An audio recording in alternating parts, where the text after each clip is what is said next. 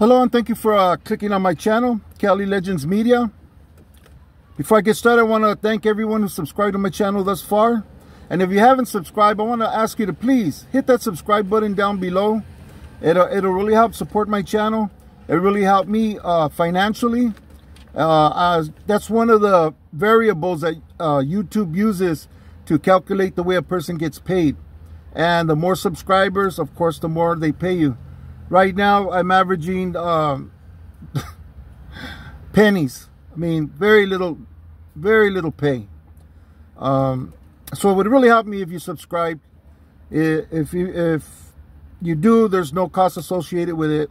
All you have to do is hit that subscribe button down below. If you like this video, hit that thumbs up button. And if you'd like to be notified whenever a new videos drop, hit that little notification bell. And you'll be notified whenever I put a new video out. You can go back and watch it when you have time. Okay, so today's video, today's video is going to be very, very different than what I usually do. So I, I want to begin the video by, by saying one thing that's very, very important to my channel and to the message that I'm bringing. And that's for anyone who, who doesn't already belong to a gang, a tagging crew, uh, any type of uh, uh, street organization or club or, or gang. Um, I highly recommend you don't get involved with them. Uh, it's better you just go ahead and live life to the fullest. Enjoy your family. Enjoy friends that are that you feel are really your friends, and go out and enjoy all the good things that that uh, the various uh, communities have for the people that live in them. That being said, you know, being from a gang, being from a neighborhood, being from a tagging crew, when somebody gets hurt, somebody gets jumped, somebody gets disrespected, there's usually a response and it usually involves violence. All bad. Why? Because although we don't see it as, as a crime, why? Because we're involved and we're doing something that we feel is righteous because maybe one of our friends got hurt or or maybe even killed, unlived, okay? Um, nevertheless, any response is, is, is a crime and is punishable by the law. Which means you, uh, you'll lose your freedom. You'll end up in prison. Then you're going to really be dealing with a with a whole different type of world. Um, if you've never been there, it's a world that's that's very unfamiliar and much more dangerous than the streets and gangs. So, the last thing I want for anybody is to end up in prison. And that's what this video is for. It's not it's not to help you get away but I hope this helps you not go to prison if one day you make a mistake, you use bad judgment, or you do something you shouldn't have done. Whether you regret it or not doesn't matter. If you get arrested, you get prosecuted, um, you get found guilty, you're done. Okay? And they're giving out a lot of time for, for, for everything that includes that includes an act of violence. Okay? So I'm going to make some recommendations. If you ever find yourself in this position, uh, recommendations of things that you should never do. And one of them is talk about it to, to, to somebody else. Whatever you get involved in, keep it to yourself, man. Don't even tell your best friends.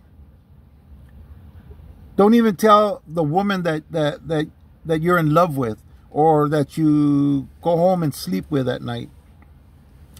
Keep it to yourself so many times, you know, a guy will say something to his lady, you know, they'll be doing some pillow talk, and then the guy might want to brag or he just want to talk about what he did, tells his lady something. Later on, they get in a fight, you know, or later on, maybe you get caught with some girl or something, and, you know, it might piss your girl off. And she has this information that, that can be used against you. And if she's mad enough, who knows, man, she just might use it. So, you know, you gotta you gotta keep all of this kind of stuff to yourself, you know. Don't even tell your homeboys. Uh, why? Because you can't trust anybody. You know, uh, you could tell one, two homeboys. Next thing you know, they told another two, told another four, told another eight. By the time you know it, the whole neighborhood knows uh, that you were involved with a certain incident.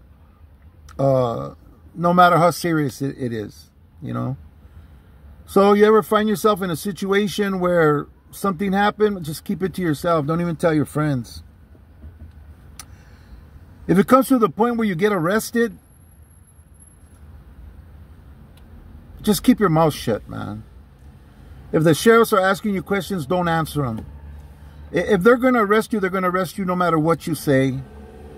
Don't try to talk yourself out of nothing or you're going to go to jail. You know, you got those handcuffs in and you're under arrest, you're going to go to jail. So just, uh, just don't say nothing. It's not going to help you. It's not going to help your situation. And then when you get to the jail, more than likely a detective's going to come and talk to you. And depending on what your crime is, is what what department will come and talk to you. If it's uh, if your crime is something like prostitution or something, then Vice will come and talk to you. If your crime is robbery or burglary, then that division will come and talk to you. If your your crime is unliving somebody, then of course homicide will come and talk to you. It doesn't matter who comes and talks to you. Don't talk to nobody because anything you say can and will be used against you in the court of law. And that's the only thing of your rights you got to remember. That and that you have the right to remain silent. You don't need to talk. They can't do you anything and they can't persecute you for not saying anything. And the reason why I say this is because, you know what? There's even innocent people right now that are incarcerated and, and are doing life, you know, and are innocent. Why? Because the way that the district attorney and the police and the investigators put things together might only be circumstantial evidence it only might make you look a certain way but you might say something that you don't know that you don't know uh, involves what they're putting together and you just might hang yourself with your own words even if you're innocent you know so the best thing is just don't talk to them exercise your right to remain silent don't say nothing it's not going to help you Okay? They're not talking to you, talking to you to help you. They're talking to you to convict you, to catch you in a lie, to hear something that that puts them on the right track. They're not there trying to, okay, well, tell me something. Oh, okay, well, that might mean you're innocent. No, they're looking for what makes you seem guilty because that's their job is to to get down to the bottom of a crime and, and, and get, get themselves an arrest and a conviction.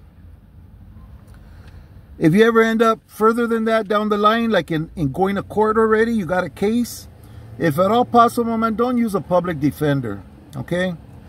Now, there's a law that in order for you to be convicted, you need to be represented by an attorney. They can't convict you unless you have an attorney there present, okay? They can't sentence you to prison, send you to jail without you having an attorney there representing you. So they appoint one. But that's what they're there for. They're not there to, to, to necessarily help you. Uh, maybe if you if if you really come across that you're innocent to this attorney, he may go to work for you and try to and try to do something for you. But in most cases, um, they're going to go along with what the sheriffs are saying. They're going to go to lunch with the DA and discuss, well, how much time we're going to give this guy, you know? And, and seriously, I'm seriously, man, I've had so much bad experience and heard so many things about when you use a, a, a public defender. If you can afford a, an attorney, get one. You know, um, you're better off with any attorney that you pay for rather than a public defender. Okay, you have a better chance.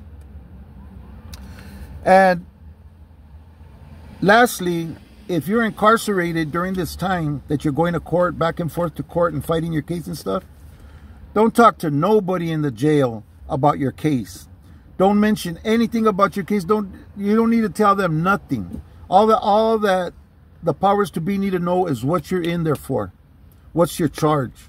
Okay, they don't need to know the details and who was involved and, and who did what or what you know or what you think.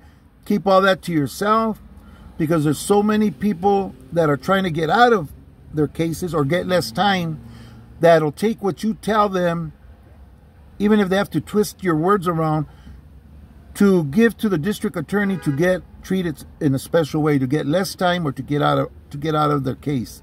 So don't tell nobody nothing okay? And, besides that sometimes the cells are wired you know they they they have listening devices. Depending on what your case is and, and if it's worth the trouble of doing that they're definitely going to do that. They're gonna they're gonna have recordings of you while you're in jail talking to somebody. Uh, the best thing is don't talk to nobody and whatever you do don't talk on the phone to your to your family to your lawyer to anybody. Don't have no discussions about your case over the phone because all your phone calls are being recorded and they are being listened to. Don't think that recording is just to scare you so that you don't be uh, uh, doing things on the phone. No, they're recording and they're listening to everything that you're saying. So uh, don't be don't be saying nothing in, in jail to other inmates. You know, you can't trust that where you're being housed might be wired and you don't know if you're talking to an informant who's planted in there with you. And definitely stay off that phone, man anyways i know i know i'm gonna get a lot of a lot of guff for this video. Uh you're you're you're grooming you're grooming the youngsters. You're you're you're getting them ready uh you know to join gangs and stuff. No. This is this my intentions is to keep you out of prison keep you out of going to jail even if you make a mistake. You know even if your actions were negative i i still don't ever want anybody to go to jail and spend the rest of their life in prison. Um, you know, it, to me, it would be better if they got another chance at their freedom and did good, you know. But anyways, this video, I hope, uh, will help somebody who finds himself in trouble one day. Let's hope that we never do. Let's, let's stay away from people who are doing foolish things in the street and, and committing crimes and stuff. You know, let's stay free. Let's stay free. Let's do the right thing. Let's do the hard thing. Let's go to work, man. Find a job, go to school, get some training, do something positive in your life. Okay? Don't waste your time running the streets, man, because they gangs and, and the streets only lead to jail, to death, uh, to injuries, like you end up in a wheelchair maybe, uh, crippled, uh, you know, shot, whatever. Um, it, I can't say anything positive, but where where it takes you, because it doesn't take you nowhere positive. It takes you to negative places that you don't want to be. So let's not go there, and let's hope that you never need to use any of these things that I've talked about today. But if they do, use wisdom and remember the things that I talked about today. Please, let's stay free. Let's stay out here so we could be here for our families, for the people that love us, the people that are here for us, let's stay free so we could be here for them rather than be incarcerated where they got to waste their time and their resources taking care of us, paying for lawyers, sending us money for a store, and all of the, the, the costs that our family gets affected with when we make bad decisions and bad choices in our lives. Let's stay free. Let's stay positive. Let's stay strong. Thank you for watching this video. I hope to see you in future videos. God bless you and your family.